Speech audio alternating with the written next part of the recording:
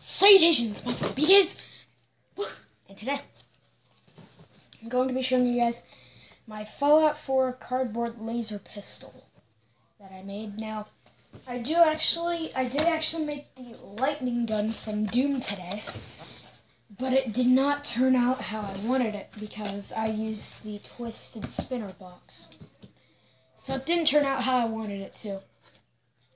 And um, I was like, hey, why don't I just make a Fallout weapon today? So I did. Here it is. The Fallout 4 laser pistol. I know it's a little bit bigger than your average pistol, but that's what it's supposed to be. That's what it's supposed to be like. In the game, it's a bit larger than most pistols. And uh, weighs a bit more, too. But, um, here it is. I know a bunch of people are going to comment and say that this looks more like the Institute pistol, but So yep, obviously I did use the twisted spinner box, so this side has like some light on it. This part doesn't. Um, yep. And uh, I did actually do the capacitor, which is something I usually don't do on guns like this. But um, it does actually have a capacitor right here. So on one side, um, it says caution, and then it's pointing this way. And then on the, other, the other side, I just put it on both sides. Um, I only made one. I'll probably make another one though. And how it actually inserts is in the game. How the how you take out the capacitor is there's this thing that's holding it in, and then you flip that down and then take it out at the same time. Put it back in and then flip it back up. But I could not figure out how to do that. So what you do is there's this piece right here that you fold like this, so now it's facing toward you. You slide it. You go on this side slide it in, and then it fits in perfect. Uh, what I tried is if you actually flip this all the way down, it won't actually fit in there. And um, just for a size comparison, here it is with a Skull Surge. And it's about the same size as a Skull Surge. You can see there.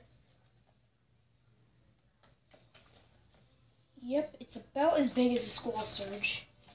So, yep, except this one doesn't have that annoying thumbnail stop. So, um, its cool features is obviously it uses the capacitor, but it does look a little bit weird without it in there. Um, what I should have done is made it where, like, it's on the side, like this, instead of having it, like, held into the gun, because now, whenever you take it out, it just looks there's just like a gaping hole. And I don't really like that I did that. I'll probably fix that. But um, I probably won't be able to. Uh, the trigger is right here.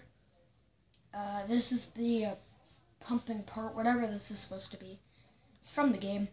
Uh, the handle is actually really big, so it's pretty comfortable. Uh, adults would still be okay with this. And uh, on this side, I drew the um, muzzle part it has in the game. So yeah, I'm probably making the laser rifle next. And um, I didn't actually make this. I'm not gonna spoil what this is for, but um, I am actually going. I did actually. I did make this for fun.